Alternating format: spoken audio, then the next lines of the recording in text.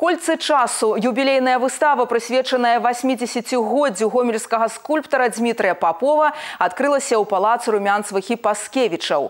За гады сваёй творчай дзейнасці майстар унёс вялікі ўклад у развіццё скульптуры на гомельшчыне.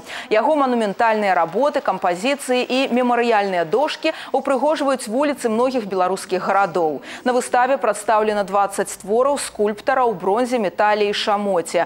Асноўная крыніца натхнення Дмітрия Попова – люди. Например, одна из любимых работ майстра, представленных на выставе, называется «Паўднёвы ветер». Это образ молодой жонки автора, выкананы ў бронзе.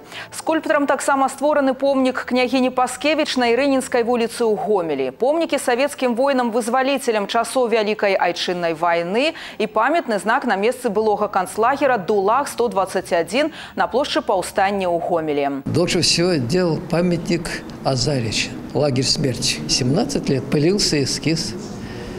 У меня в мастерской пока. Тут э, сбор с миру по нитке, как говорят, стали собирать, там и фотбира, и ветераны, и прочее, и собрали на бетон. Вот пришлось в бетоне выполнить затею, которая замысел, который должен был быть в граните. Много незаконченных работ у меня, очень много скопилось. Некоторые стоят уже лет по пять, по семь. Пора. Не знаю, сколько мне Всевышний отпустит времени на это. Но надо заканчивать их.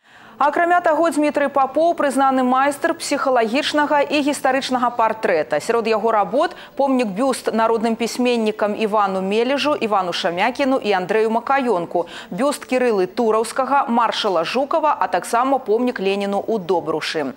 Многія скульптурныя работы Дмітрыя Папова знаходзяцца ў музеях Беларусі, Расіі, Украіны і Малдовы.